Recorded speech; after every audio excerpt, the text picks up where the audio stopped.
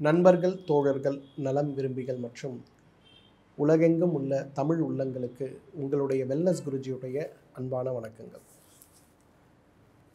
ஆயிரம் கேள்விகள் ஆயிரத்தெட்டு பதில்கள் அப்படின்னு இந்த தலைப்பில் ஆரோக்கியம் சார்ந்த உலகியல் சார்ந்த உளவியல் சார்ந்த உணவுகள் சார்ந்த சமையல் சார்ந்த நிறைய விஷயங்களை பற்றி நம்ம விவாதிச்சிட்டுருக்கோம் அந்த வகையில் இன்று நாம் விவாதிக்க போகின்ற மற்றும் ஒரு தலைப்பு சர்க்கரை நோய் பரம்பரை நோயா? பரம்பரையாக இருந்தால் மட்டும்தான் சர்க்கரை நோய் வருமா? நம்மில் நிறைய பேருக்கு இந்த குழப்பம் இருக்கிறத பார்க்கும் நிறைய பேர் என்னிடத்தில் வரும்போது கூட அவர்கள் உடல் வெளிப்படுத்தக்கூடிய அசௌகரியங்கள் அதாவது உடல் எடை வேகமாக குறைந்து போவது அதீத தாகம் அதீத பசி அதிக சிறுநீர் கழிப்பது அதிகமாக கோபப்படுவது பிறப்புறுப்புகள்லையும் உடல்லையும் சொல்ல முடியாத அளவுக்கு திடீரென்று அரிப்பு ஏற்பட்டு அரிப்புக்கான எந்த சிகிச்சை எடுத்தாலும் அவை கட்டுப்படாமல் இருப்பது. உடல் சோர்வை போலவே மனச்சோர்வு மிகப்பெரிய அளவு பலவீனத்தை ஏற்படுத்துவது. பகல் நேரங்களில் அதீத தூக்கமும் இரவு நேரங்களில் தூங்க முடியாமல் சிரமப்பட்டு கொண்டிருப்பது. அதீதமாக பிடிக்காமல் நமக்கு இருந்த உணவுகள் மேல் திடீரென்று பிடித்தம் ஏற்பட்டு அந்த உணவுகளையே விரும்பி விரும்பி சாப்பிடுவது.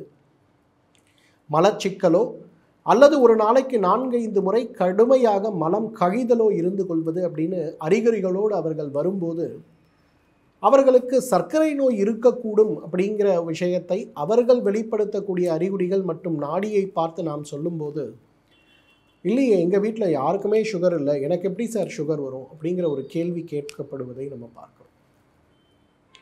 இன்றைக்கு நவீன மருத்துவம் மட்டுமல்ல இயற்கை மருத்துவமும் சொல்கிறது சர்க்கரை நோய் பரம்பரையாக வருவதற்கு நிறைய வாய்ப்புகள் இருக்கிறது. சர்க்கரை நோய் மட்டுமல்ல நம் உடலில் ஏற்படுகின்ற எந்த நோய் வேண்டுமானாலும் இன்றைக்கு பரம்பரையாக வருவதற்கு வாய்ப்புகள் இருக்கிறது அப்படிங்கிறது ஆயுர்வேத மருத்துவம். ஐந்து காரணிகளால் தான் மனிதனுக்கு உடலில் நோய்கள் ஏற்பட முடியும். முதலாவது உணவு முறையில் ஏற்படுகின்ற பாதிப்புகள். இரண்டாவது வாழ்வியல் முறையில் ஏற்படுகின்ற பாதிப்புகள். மூன்றாவது காயங்களால் ஏற்படுகின்ற பாதிப்புகள். நான்காவது தொற்றுக்களால் ஏற்படுகின்ற பாதிப்புகள். ஐந்தாவது முக்கியமானது பரம்பரையாக ஏற்படுவது. சில நோய்கள் அப்படின்னு வரும்போது ஆறாவதாக வரக்கூடிய குறிப்புகள்.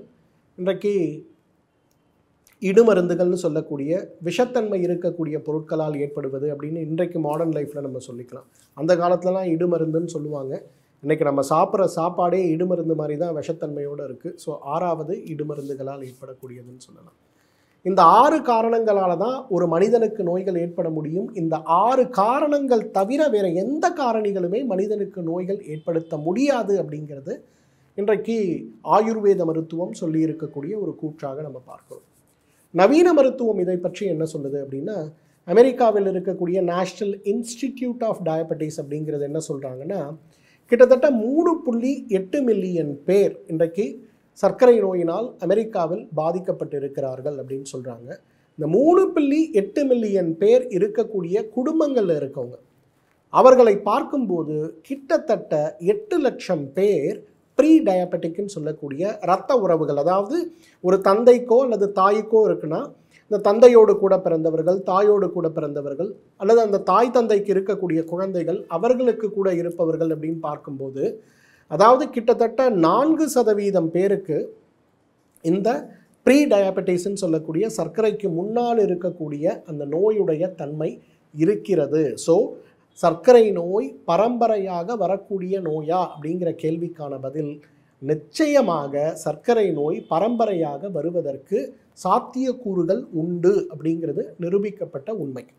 இன்றைக்கு நம்முடைய தாய்க்கோ தந்தைக்கோ அண்ணனுக்கோ தங்கைக்கோ இரத்த சம்பந்தமாக ஒரு ரத்தம் ஒரு ஜெனட்டிக் ஃபேக்டரோடு இருக்கக்கூடியவர்கள் அந்த குடும்பத்தில் இருக்கக்கூடிய அனைவர்களுக்குமே இன்றைக்கு பரம்பரையாக ஏற்படுகின்ற சர்க்கரை நோய் ஏற்படுவதற்கான வாய்ப்புகள் நிச்சயமாக இருக்கிறது.